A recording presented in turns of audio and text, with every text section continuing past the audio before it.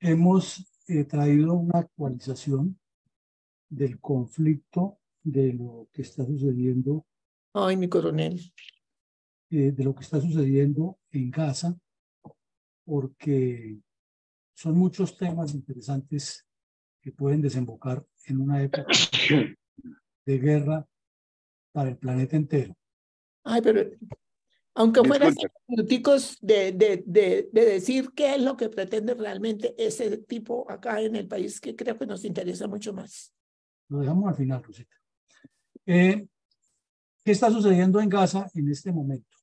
Está sucediendo un problema que es el epicentro del mundo entero, que es una situación que nos obliga a todos a reflexionar porque es la paz del mundo y puede ser el destino de la humanidad lo que se está jugando allí de una manera increíble. Y es que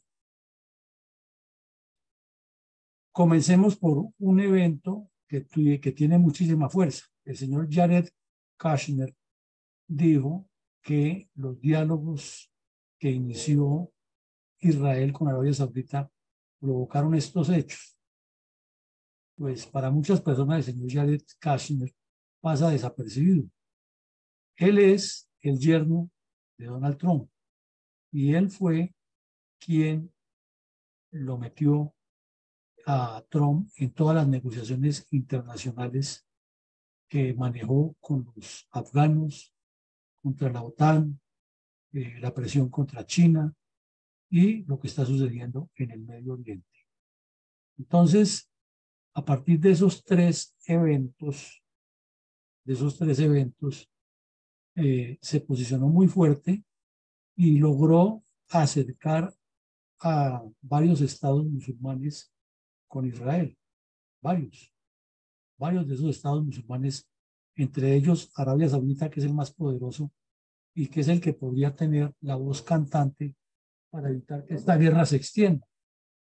Entonces, se ha especulado mucho sobre cuáles fueron las razones por las cuales ocurrió ese ataque terrorista que hoy cumple tres semanas.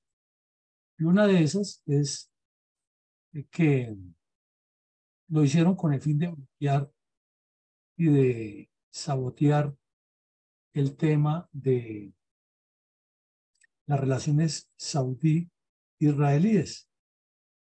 Y eso eh, ha tenido algún peso específico, alguna, algún posicionamiento, pero no se le ha dado la trascendencia hasta que apareció este señor y lo dijo. Entonces, primer punto que tengamos en claro, que sí tiene mucha influencia porque seguramente él tiene contactos con la inteligencia saudita y le confirmaron eso.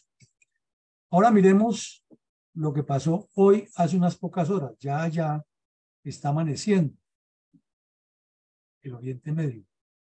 Pero después de un tira y afloje que hubo esta semana de que Israel no iba eh,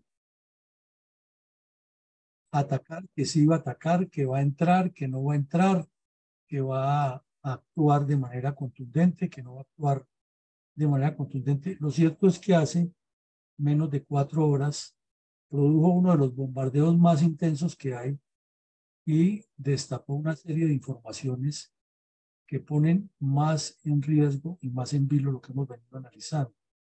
Entonces, eh, ocurrió y sucedió que el mundo entero pues recibió esta noticia con mucha sorpresa, porque ha habido una serie de presiones que ya las vamos a ver, y eso da a entender que el tema se sigue complicando para todos los actores, tanto directos como indirectos, y desde luego Colombia no es la excepción, como lo veíamos anoche en el taller que hicimos. Y eh, dice aquí el New York Times en su foto que publica y el artículo que le dedica a eso, que los eventos que están sucediendo en el territorio de Gaza son difíciles de descifrar, como lo que ocurrió este viernes por la noche, hace unas pocas horas, porque quedaron ya prácticamente sin comunicación por Internet y por teléfonos celulares la mayoría de las personas en Gaza.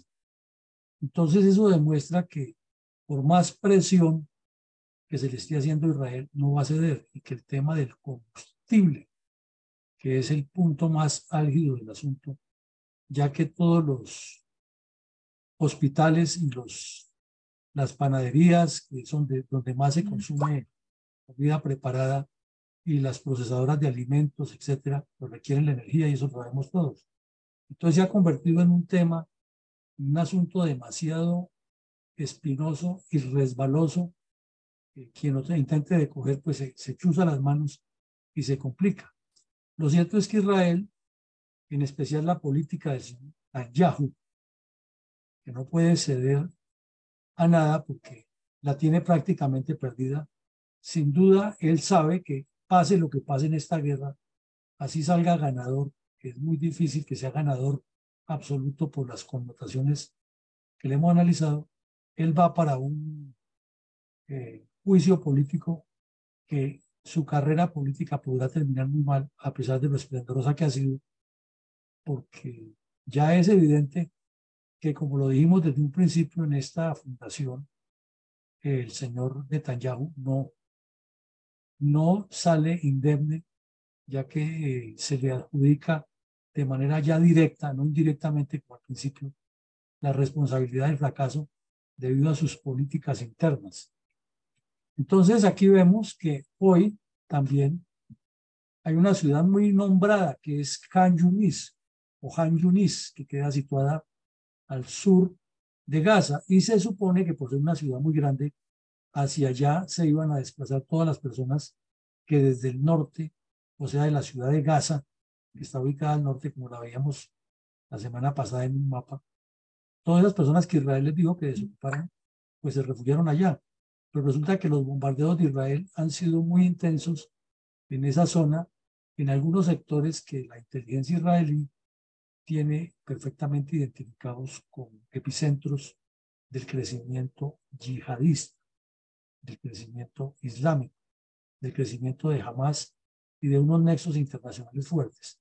Entonces, claro, es muy fácil cuestionar si Israel lo está haciendo bien o mal y hablar por hablar, como sucede con muchos invitados que llevan a los medios a opinar. Pero otra cosa es la información que no la tenemos nosotros y que maneja la inteligencia israelí y lo que están recibiendo directamente del terreno de su red de espionaje que es muy grande allá en la franja de Gaza. Entonces, eh, cuando estos hechos ocurren es porque el conflicto tiende a empeorar y tiende a incrementar los hechos de violencia.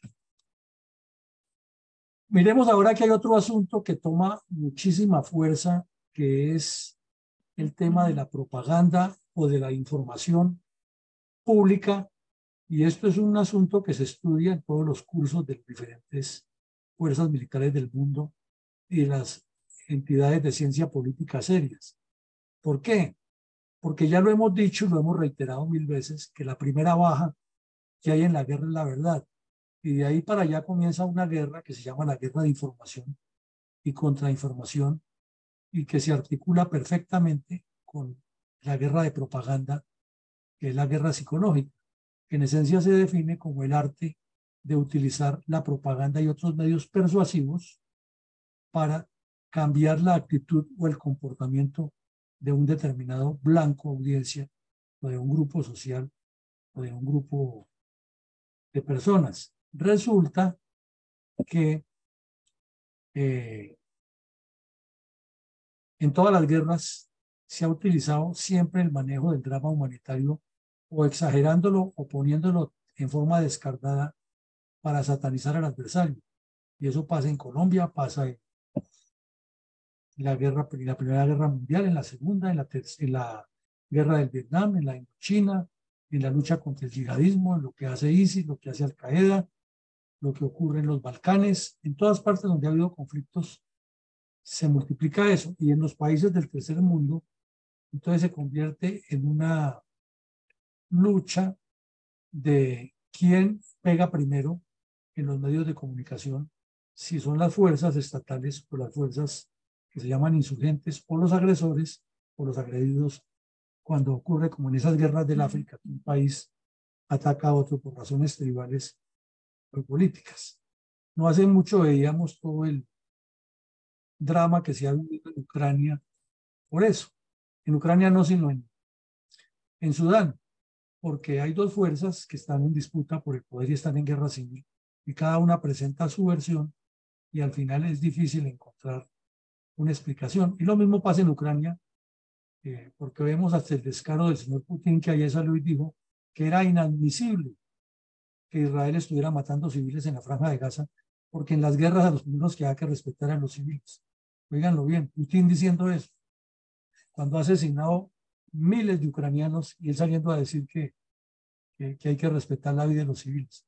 Pero eso es precisamente el arte de la guerra, de la propaganda. Entonces, ¿por qué llegamos aquí? Porque ayer, ayer el Ministerio de Salud de Palestina publicó una información diciendo que van ocho mil y pico de muertos, que dentro de los ocho mil, tres mil son eh, niños y cinco mil adultos. Y presentó este cuadro por días, cuántos adultos murieron y cuántos niños. Al principio, pues la información causó mucho impacto a cualquier persona que la lea y más con un cuadro estadístico presentado así. Pero resulta que inmediatamente ripostó Israel y dijo que eso era absolutamente falso. Que cuál era la prueba que tenía él para decir eso.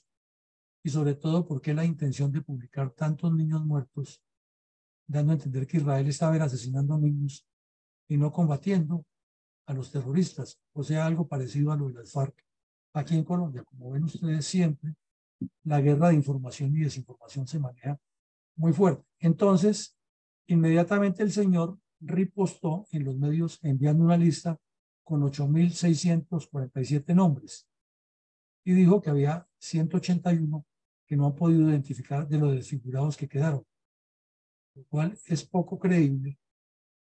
Primero la cifra, entonces ya comienzo a dudar si la cifra es cierta o no. Y segundo, pues hacer una lista de 8.000 personas, cualquiera la puede hacer hasta cogiendo la guía telefónica o inventándose los nombres. Entonces, ahí quedan muchas dudas. Puede que sea cierto también que ha muerto esa cantidad de personas porque los bombardeos han sido intensos. Pero como ya los palestinos sembraron la duda con el tema del hospital que analizábamos la semana pasada, entonces, cuando alguien dice una mentira y se le encuentran, sí que es difícil que vuelvan a creer en él. Así está diciendo la verdad cien veces, pues ya dijo una mentira una vez y ahí se cae. Ahora aquí viene otro problema complicadísimo del drama humanitario que al fin y al cabo es lo que pone las guerras en vilo, porque es lo que facilita la guerra de información y desinformación y facilita posicionar eh, visiones o posturas del, de cada bando en la media, en los medios de comunicación. Y es que la agencia de la ONU para los palestinos en Gaza dice que tendrá que tomar decisiones extremas si no reciben más combustible. Entonces, pues cualquiera que vea ese título, que oiga esa noticia, inmediatamente asume una actitud perfectamente entendible y de crítica a Israel. Y si la publican con esta foto, como la estamos viendo ahí, que ya están cerradas algunas de las panaderías donde venden el falafel, todas esas comidas propias del mundo islámico, y la gente haciendo cola para que le entreguen un pan en otra tienda de las que todavía quedan y que son controladas por la ONU, pues inmediatamente la información cala muchísimo porque es una imagen impacta más. Pero cuando se comienza a, a desenmadejar la información por partes, también comienzan a surgir dudas hasta qué punto esto tiene toda la, la veracidad completa o en qué porcentaje es veraz y en qué porcentaje no es veraz o de qué manera se está utilizando para manipular la información. Pues resulta que es cierto que la ONU tiene un comité allá muy grande que tiene una característica que de manera increíble eh, funciona así a pesar de las reglas internas que tiene la ONU. Y es que resulta que si la ONU decide intervenir con un grupo de personas que participen en el alivio humanitario de cualquier eh, región, país o zona que esté afectada por guerras o desastres naturales eh, o por conmociones civiles, siempre lleva funcionarios extranjeros para garantizar la neutralidad completa y en apariencia, por lo menos en teoría, la idea que tiene la gente del, en el mundo de la ONU es que es una, una entidad neutral. No vamos a entrar a discutirlo aquí porque tenemos algunas experiencias que no son claras con ellos, pero es, la, es el, convencimiento que se tiene, que es una entidad neutral que coadyuva a que las cosas eh, se solucionen o por lo menos se atenúen de la mejor manera posible. ¿Cuál es el problema? Que en Gaza esos miembros de la ONU no son extranjeros, sino que todos son palestinos.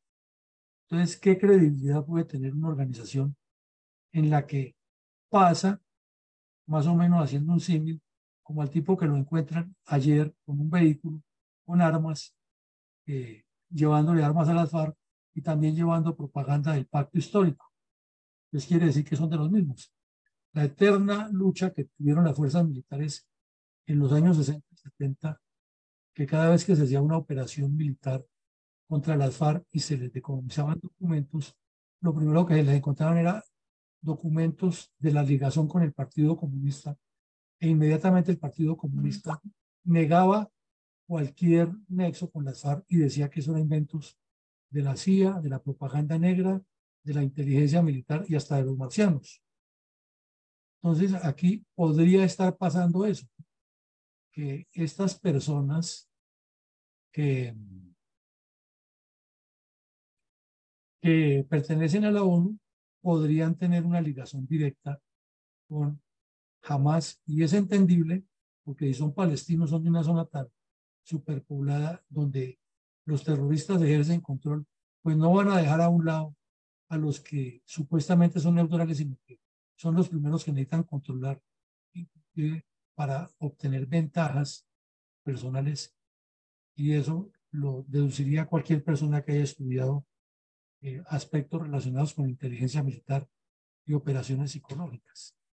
Tenemos también, entonces, que como ya mintieron una vez con lo del hospital y como han aparecido hasta fotos, por ejemplo, de una niña que la han sacado como de 10 bombardeos diferentes con el mismo vestido y lo único que cambian es de la, del hombre que la salva y sale con cara de acontecido salvándola. Entonces, no es que estemos negando que, haya habido, que no haya habido bombardeos, porque las evidencias lo muestran.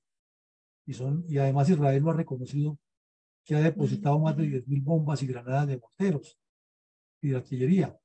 Entonces, pues eso entiende que ha sido fuerte el, el ataque. Pero ante todas esas imágenes, se puede, hasta la semana pasada circuló una de uno que lo llevaban supuestamente es que para el cementerio, que ha muerto en un bombardeo y sonó la sirena de alarma y ahí mismo salieron corriendo y lo dejaron y el muerto se levantó del ataúd y también corrió.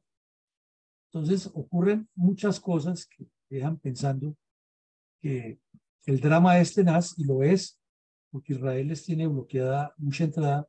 La que no les puede bloquear son los túneles que tienen con Egipto. Por ahí siguen fluyendo las armas porque no de otra manera se explica cómo se mantienen los terroristas y como vamos a ver más adelante siguen lanzando ataques contra Israel. Bueno, pero resulta que este caballero que vemos en la foto es un, un almirante de la Fuerza Naval Israelí, que es el portavoz del Ministerio de Defensa para informar las decisiones que hay con la guerra. Y esta noche dijo que la Fuerza Aérea Israelí había intensificado los ataques contra Gaza y que estaban eh, con esos ataques golpeando túneles o la infraestructura subterránea del grupo terrorista. Y dijo también algo gravísimo, que el famoso hospital Califa o Jalifa o Chalifa, que ha sido tan mencionado últimamente porque es donde están llegando todos los heridos y el drama que se vive según el informe que pasa a la ONU o los medios que tienen acceso y toman fotos hasta donde les dejan ver, es que es un sitio donde jamás tiene una gran infraestructura de armas y de aprovisionamientos. Entonces también surge la duda si Israel estaría diciendo la verdad o no, o estaría justificando en ese momento cualquier ataque hacia allá y comienza esa guerra de información y desinformación.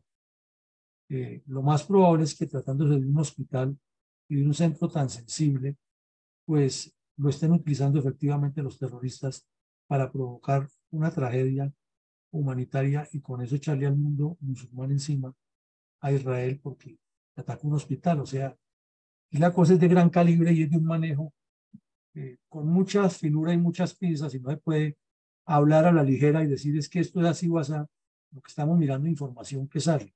Ahora la segunda parte de la, del análisis de este tema que está en la primera parte de lo que está escrito en la parte de arriba es que nos dice que intensificó los ataques contra la ciudad de, en la franja de Gaza.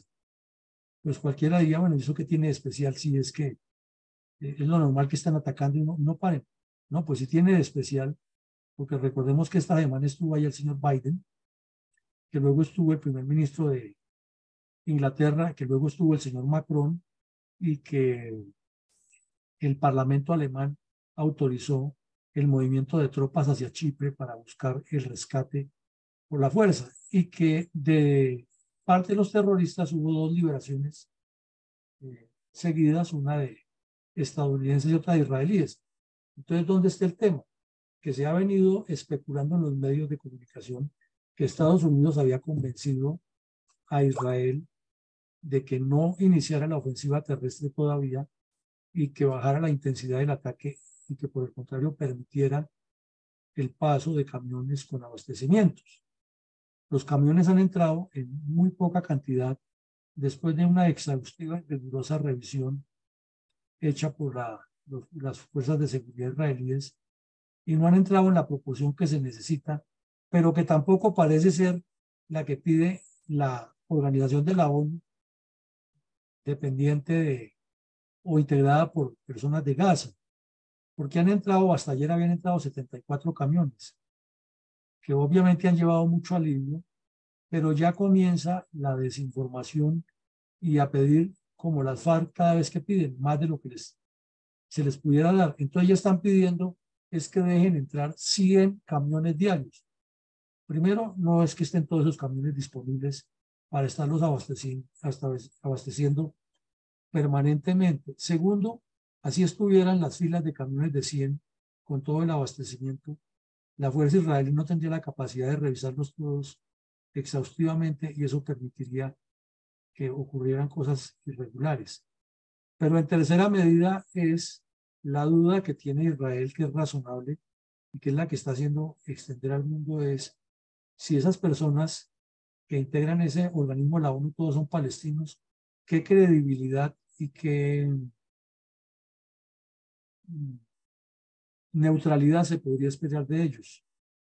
Pero además también se preguntan si realmente eh, necesitan todo ese combustible que piden o es el combustible que necesitan los terroristas para moverse y hacer las actividades de guerra. Y lo mismo, eh, sigue la duda, es cuál es el rol que está jugando Egipto, porque es que se sobreentiende que para poder mantener ese flujo de armas tan intenso y en una zona tan pequeña, y fuera de eso sitiada por lo menos por el norte, por el sur, por el occidente, el oriente y solamente con un bache pequeño en el límite con Egipto, por ahí sí sigue eh, controlándolo supuestamente Egipto y esta gente pervive es porque es por ahí que están entrando, no hay otra forma. No es que vienen por, por un túnel desde Libia y pasan por debajo de Egipto y llegan hasta la franja de Gaza. Eso no, no existe. Eso no existiría sino en la imaginación por ahí de García Márquez o de Petro. Entonces, es un tema complejo y si los medios internacionales corrieron, porque esta noticia es muy fresca, a publicarla, porque hay cosas que se están moviendo muy fuertes. Ahora miremos otra forma de la propaganda que es muy común para sensibilizar al mundo. Esta foto ya se ha hecho repetitiva en varios sectores del mundo, especialmente en la ciudad de Nueva York, tanto en el sector de Times Square como cerca a las oficinas de condado de Brooklyn, las oficinas administrativas de Brooklyn, está eh, todos los las entidades estatales que manejan los servicios públicos, las relaciones con la comunidad y muy cerca pues tiene que haber un precinto grande de la policía, porque así funciona Estados Unidos. ¿Qué es lo que han hecho ellos? Que en estos sitios han organizado unas mesas muy elegantes, todas de blanco, con la foto de los secuestrados y simbólicamente sirven el, la cena, la comida sagrada de los judíos con el pan y el vino, eh, pero con las mesas vacías. Entonces lo sirven y le envían al mundo ese mensaje, es el sufrimiento del pueblo judío con los secuestrados. Eso parece que no impactará, pero impacta muchísimo. Entonces otro juego muy bien calculado, sin entrar a la parte bélica, sino utilizando la percepción visual para generar sentimientos de drama y de padecimiento que además son muy válidos. Miremos ahora aquí otra pata que le nace al cojo.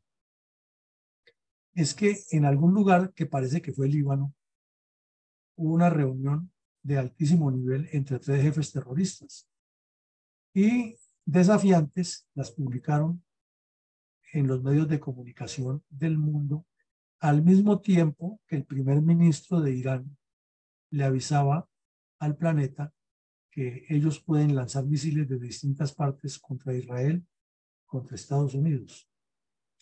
¿Y quiénes fueron los que se reunieron? Pues nada menos que el jefe de Hezbollah, que es este caballero que está aquí, un iraní, ayatola de esos iraníes, un ultraortodoxo el jefe de Hamas, que es este sujeto, que se sobreentiende que él está en este momento protegido por Qatar, pero parece que esta foto es en el Líbano.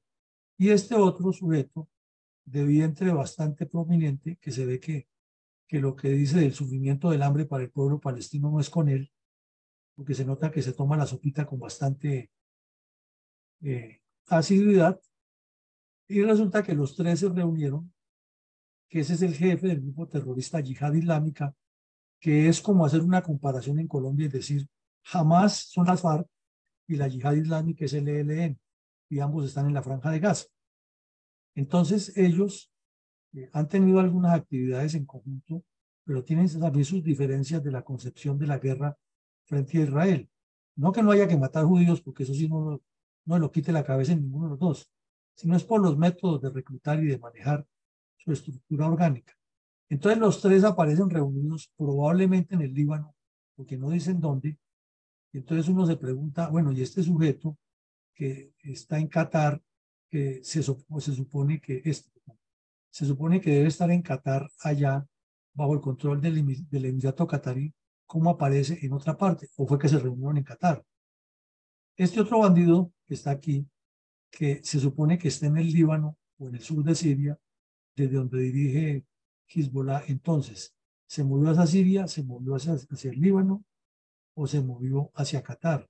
Y lo mismo el de la yihad islámica, que se supone que debe estar en la franja de Gaza con su grupo que es más pequeño y aparece allá. Entonces eso quiere decir que tiene unas complicidades internacionales grandes y aquí el primer sospechoso de la complicidad es el gobierno de Egipto, que en apariencia está en paz con Israel y que tenemos allá en Egipto un batallón colombiano que está en la, en, la mitad de esa franja, evitando precisamente que haya alguna agresión armada entre Israel y Egipto. Entonces, como ustedes ven, esta foto para muchos no diría nada, ¿no? se reunieron los tres. Pero es que ahí se reunieron no fue para hablar del, del, del último partido de fútbol que jugó la selección de Israel contra Turquía o contra algún país del, del Medio Oriente, no. Ellos se reunieron fue para hablar en medio de esta guerra cuáles son las acciones a realizar y seguramente para evaluar qué conclusiones sacan a favor del yihadismo con ocasión del ataque terrorista. Y si lo publican desafiante es porque tienen intenciones de meter a Estados Unidos en el baile para causarle muchas bajas.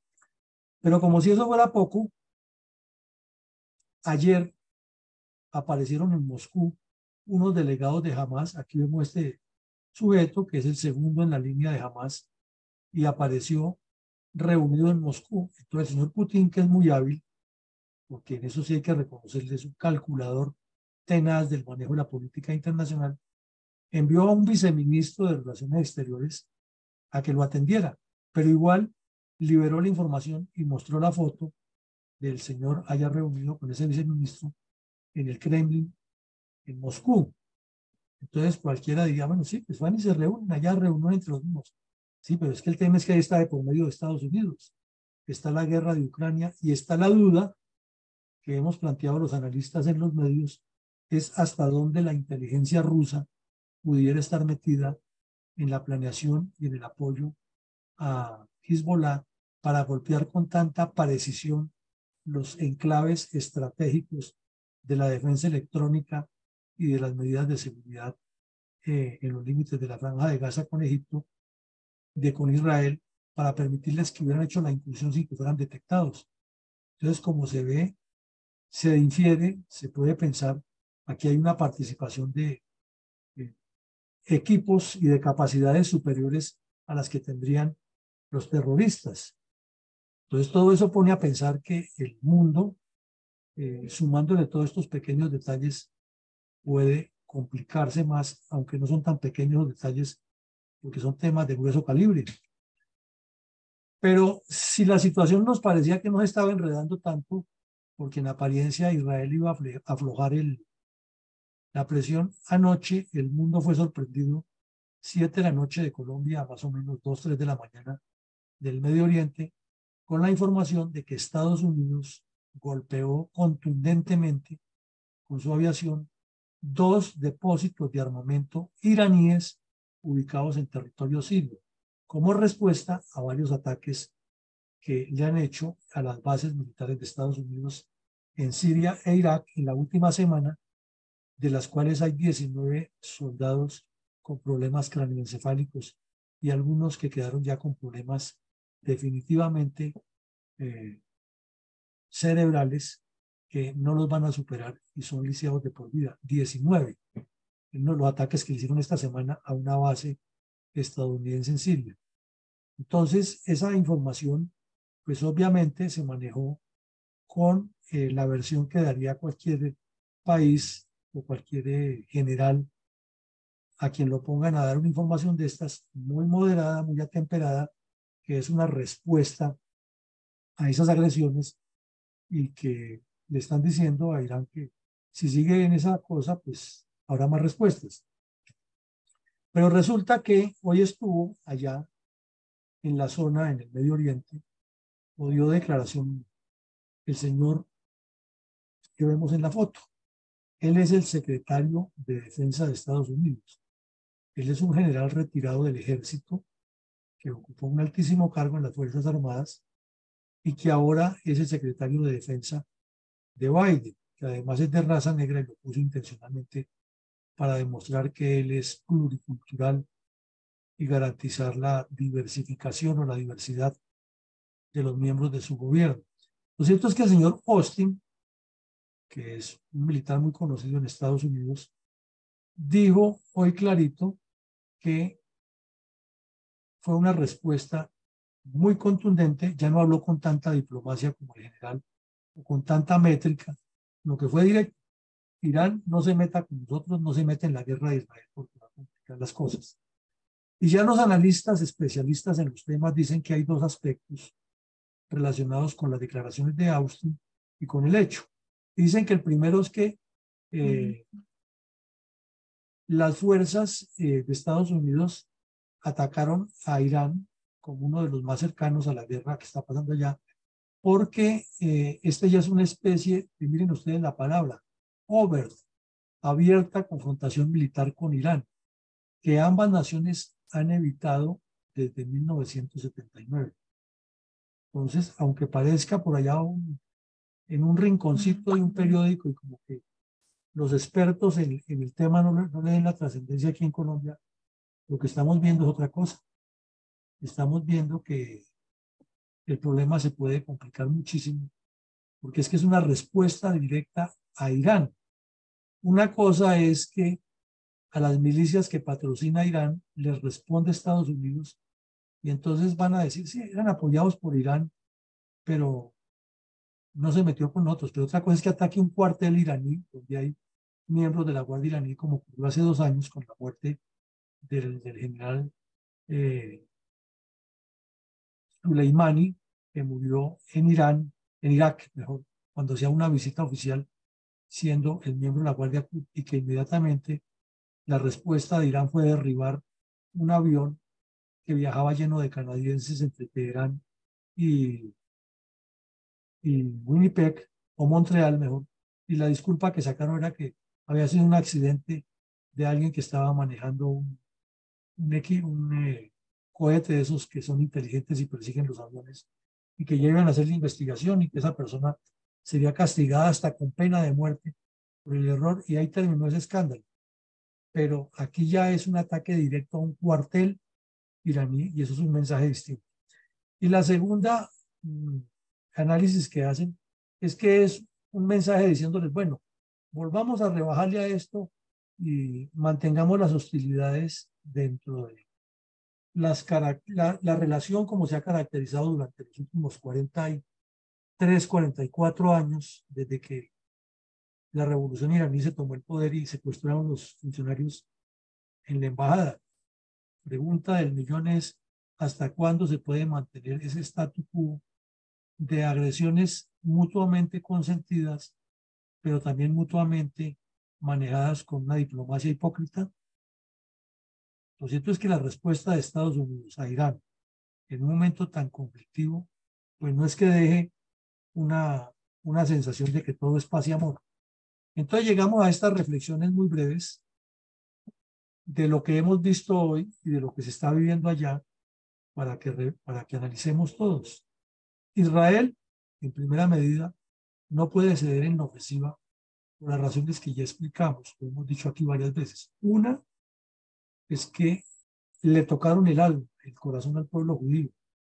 Es que si el 11 de septiembre de 2001 eh, sacudió la figura más íntima de Estados Unidos por la cantidad de muertos, y eso que pues Estados Unidos, una ciudad tan grande, la una ciudad de Nueva York, tiene más habitantes que, Israel en todo su conjunto, y sacudió al mundo entero esa información y sacudió el alma de Estados Unidos. Ustedes van allá y cuando ven siempre en los vehículos eh, la foto de las dos torres gemelas, el lacito negro y debajo el letrero, We never forget, nunca lo olvidamos.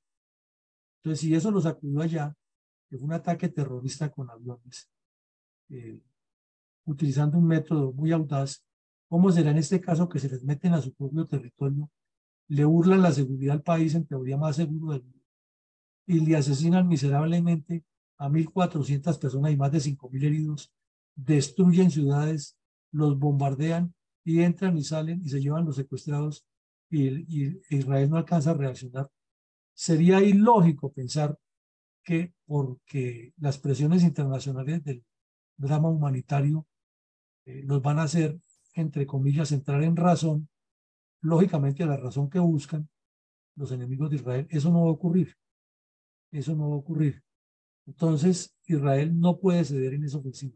Pero por otro lado, en segunda medida, tengamos en cuenta que el señor Netanyahu, para aliviar una crisis que se viene, porque se viene más adelante, y evitarla que sea ahora en plena guerra, eh, es el juicio político que le van a hacer por su responsabilidad. Y él tiene que salvar la responsabilidad de alguna manera por lo menos diciendo que lo atacaron sí, pero que contraatacó bien. Entonces, no lo puede hacer. Y en tercera medida es porque es un reto para las fuerzas militares israelíes que los bandidos no pueden salir más vivos que ellos. Que hubo errores políticos que condujeron a eso y errores militares, claro que los hubo y no los pueden negar. Pero Israel tiene que contraponerse para volver a ser su fuerza lo que es, lo que merece ser la capacidad que tiene. Entonces, son elementos muy complejos.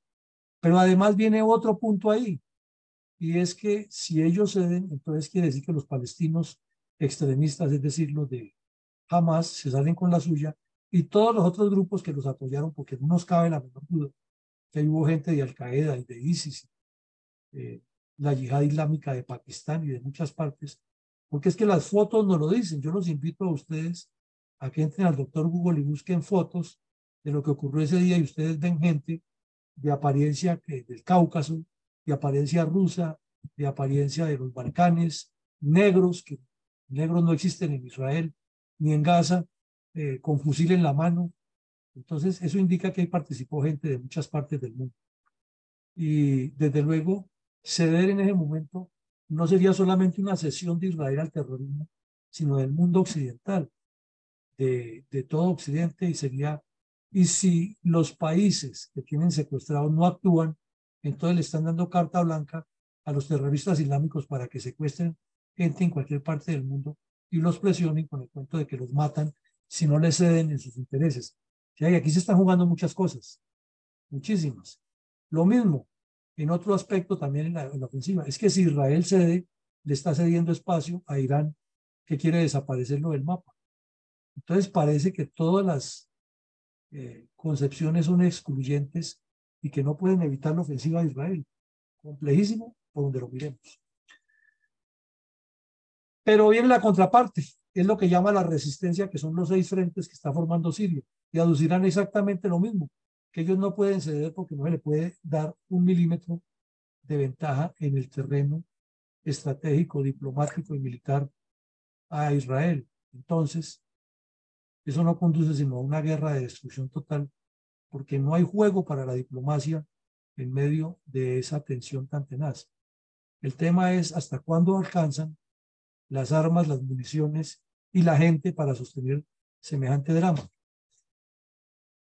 Pero viene otra reflexión que nos pone a pensar, y es que la inversión de Estados Unidos es cada vez más inminente.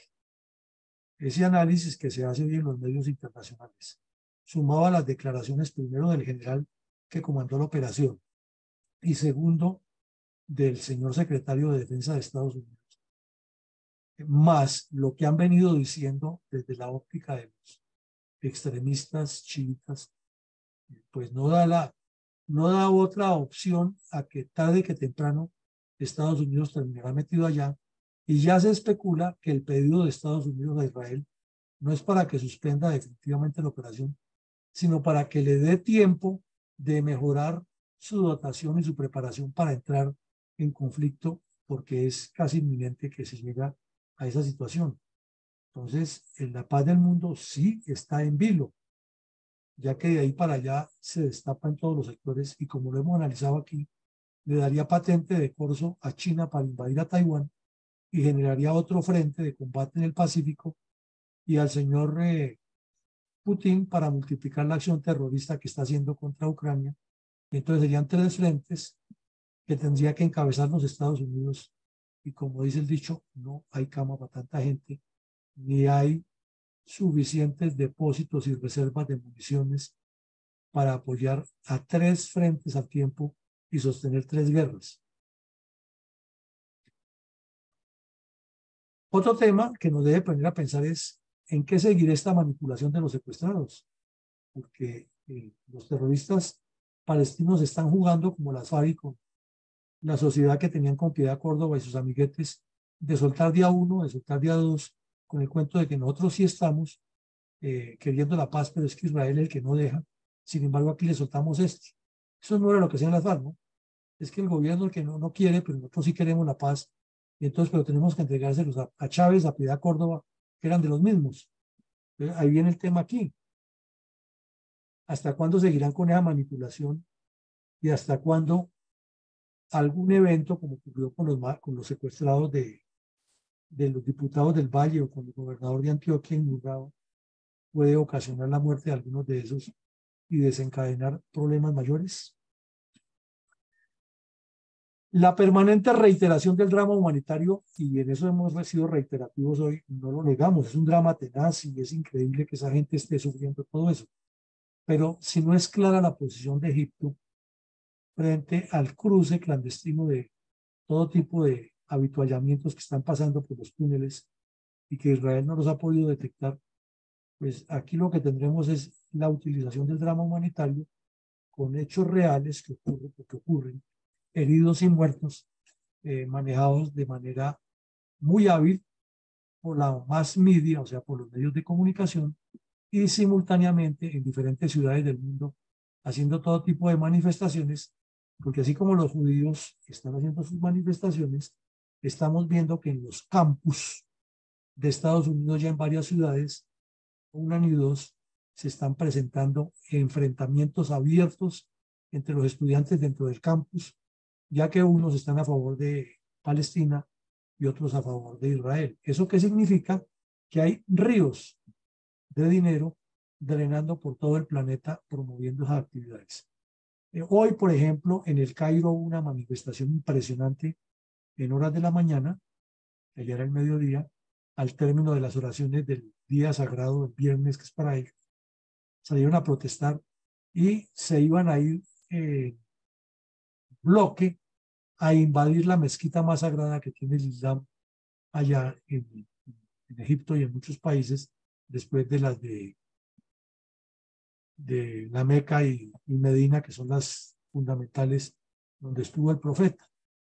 Entonces, ahí hubo choques, policía, hubo mucha manifestación, pero lo que estamos viendo es que cada viernes es más grande la manifestación y que esa manifestación, la única manera de mantenerla viva es reiterando el drama humanitario, es el mensaje fundamental. Porque si mueren los terroristas palestinos armados, también hay, claro, protesta y, solidaridad de parte de, de, muchos islamistas, islámicos. Pero cuando ya se presentan niños y mujeres ensangrentadas y se dice que está bombardeando hospitales y que los tiene aguantando hambre y que les quitó la luz y el agua, lo cual puede ser cierto en gran parte, pues las cosas se vuelven mucho más complejas. Entonces miremos que son una cantidad de temas de hondo calado. Eh, y aquí hay un riesgo complejísimo, es que los países que ya firmaron los primeros acuerdos con Israel, sin tener en cuenta que ese fue uno de los asuntos muy hábiles que manejó el señor, el yerno de Trump, que manejó la diplomacia israelí, es que en esos acuerdos que hicieron con los países no se tocara o se tocara muy tangencialmente el tema palestino-israelí, y pues Israel les estaba vendiendo tecnología, ya había vuelos comerciales entre esos países eh, y se estaba manejando una nueva dinámica. Entonces, por eso decíamos al principio de la charla que como Arabia Saudita, que es el más poderoso de esa región, iba a entrar en cercanía con Israel, le promovieron este ataque para qué? Pues para partirlos y buscarlos que entren en conflicto con Estados Unidos. Y ahí está detrás la poderosa mano de Irán, porque Irán y Arabia Saudita no se pueden ver. Ya lo hemos dicho aquí, chiitas persas contra árabes musulmanes. ¿Qué buscaría eh, Arabia Saudita? Pues hacerle un gran favor a Rusia, que es poner a pelear a todo el Islam contra Israel y por extensión contra Estados Unidos. Entonces sería ya guerra contra el Islam extremo, guerra contra eh, Rusia en Ucrania, y guerra contra China, imposible de sostener tres guerras, que no hay dinero que aguante, ni fuerza que lo resista, ni capacidad logística para enviar eh, fuerzas expedicionarias a tres sectores del mundo, ni mucho menos encabezar tres coaliciones tan fuertes como las que surgirían allí, para enfrentar a las dos potencias más grandes del mundo eh, con capacidad atómica y con tantos eh, intereses tan disímiles. Entonces es un riesgo complejísimo y hoy precisamente eh, desde Arabia Saudita también se manifestaron, no solo el, la manifestación que hizo el, el yerno de Trump, sino las manifestaciones que hicieron eh, funcionarios de alto nivel del reino saudí en que le piden a Israel, obviamente favoreciendo a los palestinos, pero también a Estados Unidos que le bajen al bombardeo. Entonces nos devolvemos al punto número uno. Y entonces, ¿cómo hace Israel para ceder en su soberanía agredida si es que es una nación ofendida? Y segundo, ¿qué sacaría Israel con, conceder cuando la resistencia sigue aduciendo lo mismo? Que hay que desaparecer a Israel del planeta y que Estados Unidos es el problema porque es el que lo está apoyando. Cojan ustedes el trompito en la uña y háganlo bailar. Finalmente hay una cantidad de injerencias internacionales que no permiten ninguna claridad sino que al contrario son posiciones disímiles. Parece como ocurre en la política de Colombia. Cada quien quiere llegar allá, como está haciendo Turquía, como está haciendo Rusia y como están haciendo algunos de la Unión Europea, es a ver qué ventajas políticas sacan de esta crisis sin darse cuenta que al final todo es una suma negativa.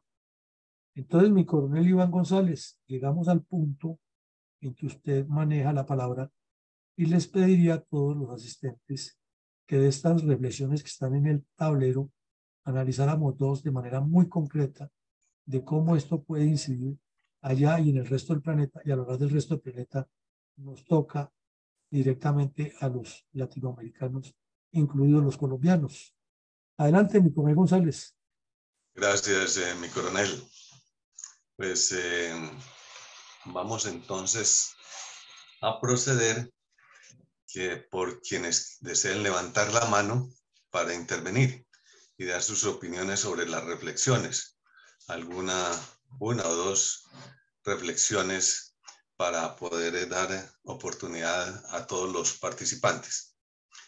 Eh, mi coronel Bernardo Fuentes levantó la mano. Adelante, mi coronel. Gracias, mi coronel. Buenas noches. Buenas noches. Bueno, eh, yo pues la verdad que el, el primer punto es supremamente importante porque, pues como dice el cuento, el que está quieto se deja quieto. Israel en este momento pues ya ha avanzado pues prácticamente allá sobre la franja de Gaza. Hoy hicieron un avance, una incursión supremamente importante y ellos van, es a lo que van y no van a ceder. Eso está muy claro. Digan lo que digan allá los diferentes medios de derechos humanos y salgan los países que apoyan a los palestinos se irán a decir de que es que miren que salen esas imágenes de los hospitales donde entran niños ensangrentados y demás y que es por culpa de los bombardeos de Israel. Eso no los va a detener hasta que ellos puedan liberar su gente y además, pues ya prácticamente dominar esa franja de gas. Eso como primer punto. Y el segundo, me diría también, porque pues obviamente el grupo Hamas, en el cuarto punto, manipulación de secuestrados, es pues prácticamente en estos momentos su bandera de lucha. No tienen nada más. No tienen nada más que hacer los del grupo Hamas, que es manipular a Israel con sus secuestrados. Pero como tal, y como decía en el primer punto, Israel va a liberarlos, a liberarlos o a liberarlos. Y apropiarse de la franja de Gaza. Entonces, eso no tiene ninguna revés respecto con lo que están desarrollando en estos momentos. Eso va a continuar y continuará. Muchas gracias, mi coronel. Gracias, mi coronel. Eh, damos la palabra a don Alfredo Gruber. Adelante, don Alfredo. Muy buenas noches a todos, un gran saludo. Buenas noches. Realmente, eh, como bien lo apuntaba el coronel Villamarín, nosotros estamos al vilo de una tercera guerra mundial, lamentablemente. Y todavía no hemos visto las reacciones terroristas de los islámicos. Ellos seguramente, como medida en lo que se vean, pues un poco más agredidos, ellos van a tomar algunas acciones, como por ejemplo el cierre del estrecho de Hormuz para, para, para paralizar las exportaciones petroleras del Medio Oriente, lo cual causará pues un incremento enorme del precio del petróleo y afectará pues todas las economías de los países importadores. Eso incluye pues la situación de, del, pues, que todo el mundo va a estar sufriendo eh, esta situación. Yo pienso que ellos tendrán también sus ideas de paralizar el, el, canal de Suez con un atentado terrorista un carguero que pueda vararse en el canal, interrumpirlo y allí, es decir, ellos van a actuar de la manera más ah, inteligente pero perversa, para causar un serio problema financiero internacional que afecte las economías mundiales y que realmente eh, les duela, pues, a, todos los, a los pobladores de todos los países occidentales. Yo veo este, esta situación muy grave, muy grave, porque la, la escalada no va a parar. Este, y si por alguna razón hay un ataque a Irán, pues inmediatamente van a haber otras reacciones inmediatas, ¿no? Este, los chinos tienen un convenio con Irán por 25 años con 450 eh, mil millones de dólares que van a estar cuidando ese, ese, esos compromisos, esas inversiones que ya se están realizando. Los rusos, por su parte, pues, eh, este, para ellos este, les alivia un poco pues la opinión pública internacional en su destrucción que están haciendo en Ucrania. Entonces para ellos pues es una bendición del cielo lo que está ocurriendo en el Medio Oriente. Eh, porque por supuesto mucha gente en el mundo va a estar reaccionando ante las atrocidades que están sucediendo en todos esos países. Yo pienso Turquía, que está ahí mismo, pues yo estuve observando, viendo la noticia, pues, de, del presidente turco, este, realmente defendiendo a Hamas, diciendo porque pues, Hamas no es una organización terrorista y por lo tanto, pues él le va a sumar. Eso también crea un problema serio en la Unión Europea porque él forma parte de la Unión Europea, el, Turquía. O sea que la complejidad en el mundo va a ser de una manera terrible y, de allí pueden surgir cualquier situación de una guerra mucho más ah, ampliada que nadie quiere, pero que este, puede estar a las puertas de la esquina. Yo veo la situación muy, muy, muy grave, muy grave, muy grave. Y lo, como, como bien decía, pues quien me antecedió, en la palabra, los israelitas no tienen ninguna intención de parar pues su ofensiva. Entonces, estamos, y, y, nos va a afectar a todos, porque los países latinoamericanos, Colombia, todos los países, vamos a estar pues ante una situación de, de escasez de todo y, y de, en fin, yo, yo veo la situación muy grave, muy grave. Esos son mis comentarios. Muchas gracias, ingeniero, muy amable. Eh, damos la palabra a doña Rosita. Adelante, doña Rosita. Muchas gracias, mi coronel. Yo me pregunto si los señores de Hamas, cuando planearon desde hace rato, porque según los analistas esto no fue planeado en ocho días, sino por lo menos en un año, y con la ayuda de Irán, por supuesto, y, y el apoyo de Rusia, y quién sabe de cuántos más. ¿Será que los señores de Hamas no pensaron en algún momento, Israel no va a hacer nada porque si no, los estamos acusando que están actuando contra los palestinos?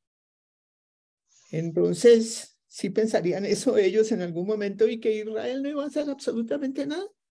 Pues se ganaron la respuesta en mi concepto personal.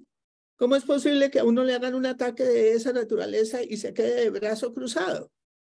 Ahora, es que ese problema no es de hace unos años ni, ni siquiera de un siglo, esos son de milenios.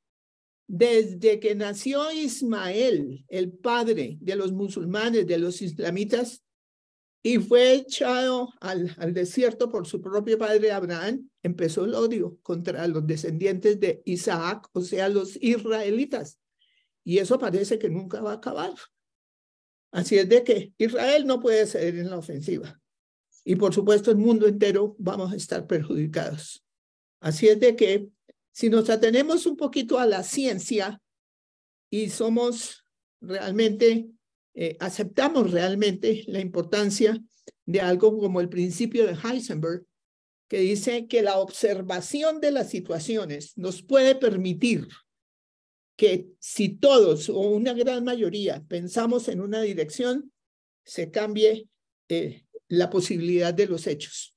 Tratemos de pensar en esa forma y veamos que ojalá esta situación cambie, así se llame milagrosamente, porque estamos todos pensando de que no puede ser que los seres humanos sigamos en este nivel de estupidez, de ego y de egoísmo y de todo tipo de, de maldad y nunca de beneficio para, para la totalidad. Muchísimas gracias. Gracias, doña Rosita, por su reflexión. Mm, la palabra para el participante que se identifica como iPhone. Adelante, iPhone.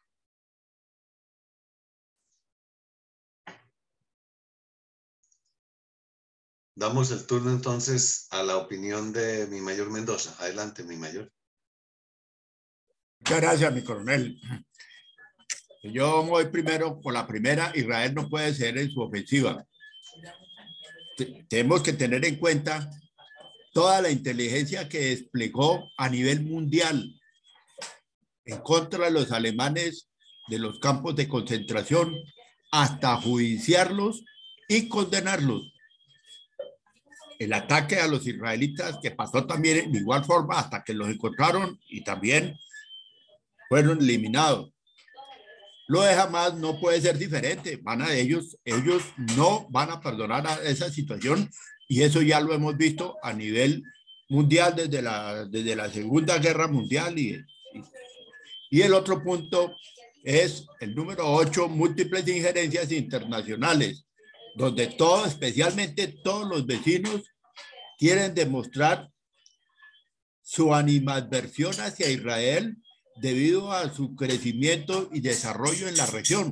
Ellos no aceptan que, que haya alguien superior a ellos y económica e intelectualmente y, y ellos van a buscar cómo destruir lo, lo, la, lo lo, aquellos que, que, que, tienen poder debido a su trabajo. Igualmente, por eso es su apoyo de Petro hacia Hamas. Es la misma, la, es, es, es, el, mismo, el mismo talante. Muchas gracias. Gracias, mi mayor. La palabra para don Luis Humberto Pachón. Adelante, por favor. Señor Coronel González, buenas noches. Muchas gracias. Buenas noches. Yo reitero el permanente drama humanitario de, de esas dos naciones, porque en las noticias de estos días mostraban o decían de un médico atendiendo e imputando la pierna de un niño en vía pública. Entonces eso causa, como se dice, conmoción interior a quien vimos o leímos esa noticia. Y por consiguiente, pues eso repercute en todo el territorio, todos los territorios del mundo. Y lógicamente, como consecuencia del drama humanitario, pues continuarán las permanentes y múltiples injerencias internacionales precisamente porque a estas alturas de nuestra civilización que no se protejan los más mínimos derechos humanos, pues es triste. Y eso da base para que en los sitios donde sí existen conflictos internos,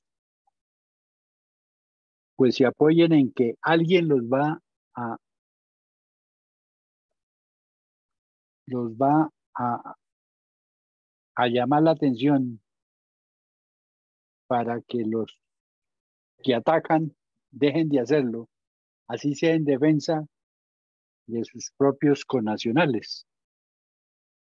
Entonces es una situación que no se ha, ha podido resolver desde 1948 y en las informaciones dadas en, por ahí en el año 2000, Naciones Unidas siempre se inclinaba o culpaba de la falta de cumplimiento de algunos acuerdos entre palestinos e israelíes. Entonces pareciera ser de que la costumbre es esa, seguir inculpando a, quien se defiende en un momento determinado, que eso es lo que ha sucedido en el momento. Gracias. Gracias, eh, don Luis Humberto. Damos la palabra a don Miguel Ángel Lugo. Adelante, don Miguel Ángel. Gracias, buenas noches. Yo escucho. eh, paso, por favor. Paso. Ok, gracias. Bien, vamos, entonces voy a dar mi opinión.